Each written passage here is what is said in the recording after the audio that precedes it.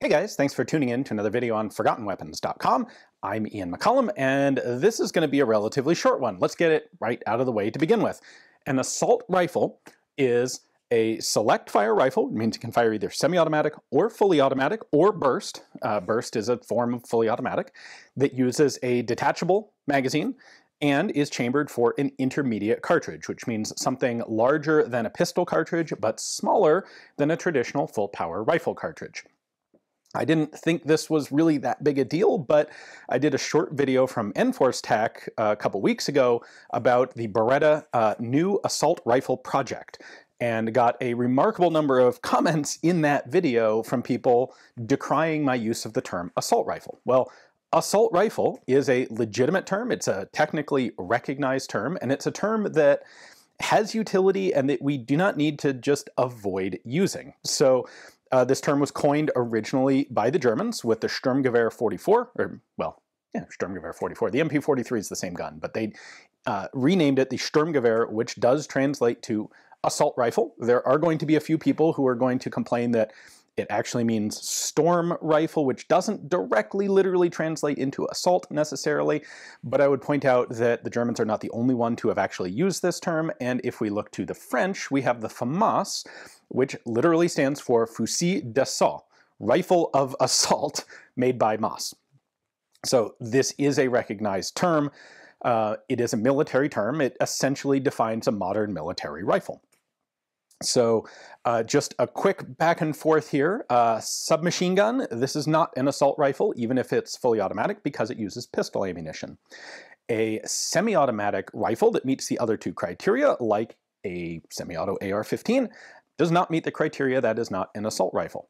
A full auto, let's say AK, detachable mags, intermediate size caliber, and uh, select fire, that does meet the definition. That is an assault rifle. A, let's say, an FN D uh, model BAR, that is not an assault rifle because while it is selective fire and it does use detachable max magazines, it uses a full power rifle cartridge. Now, the definition of full power versus intermediate power can be a little bit fuzzy at the edges.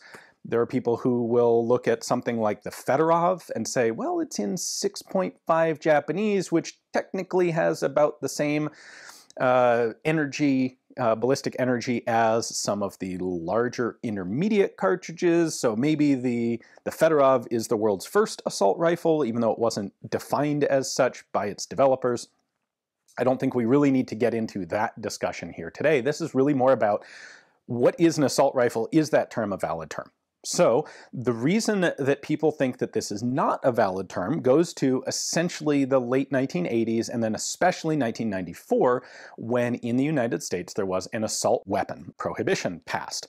Now it was a ban with a sunset, so it only lasted 10 years, and in 2004 it went poof and disappeared and is no longer in force. But what that uh, legislation did was legally define not assault rifles, but assault weapons. And it did so uh, with both, well, all with rifles, with shotguns, and with handguns.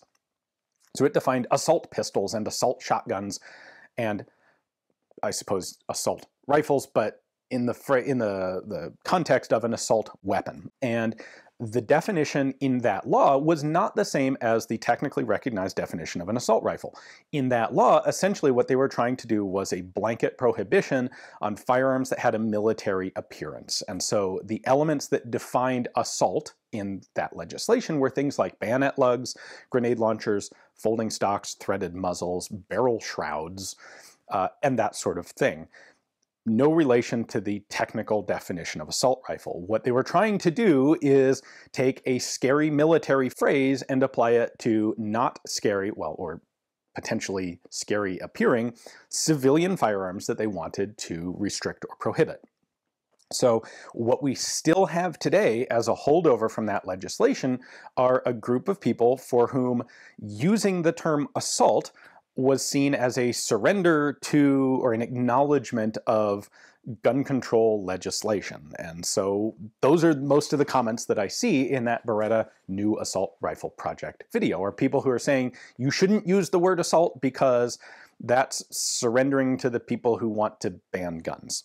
in reality, I would say it's exactly the opposite. We should use the term assault rifle in its technically proper context because to do otherwise would be to essentially surrender use of language to people who are deliberately misusing it in an attempt to pass legislative agendas. So I will continue to use the phrase assault rifle when it's technically appropriate because a lot of the guns that I film here are in fact fully automatic or burst firing guns with detachable box magazines in uh, intermediate calibers. And sometimes they're filmed in the US, sometimes they're filmed outside the US. They're generally military rifles. And I think it's really important to recognize the distinction between an assault rifle and any other form of semi-automatic rifle, typically civilian semi-automatic rifles. So that's today's rather bland rant, but I just saw so many comments about uh, using that phrase that I thought we should clear it up a bit. So hopefully you guys enjoyed this one.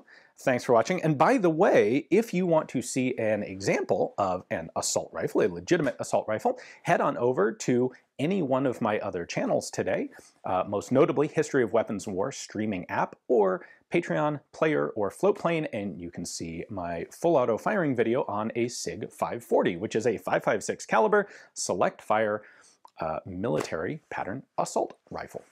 Anyway, hopefully you guys enjoyed the video. Thanks for watching.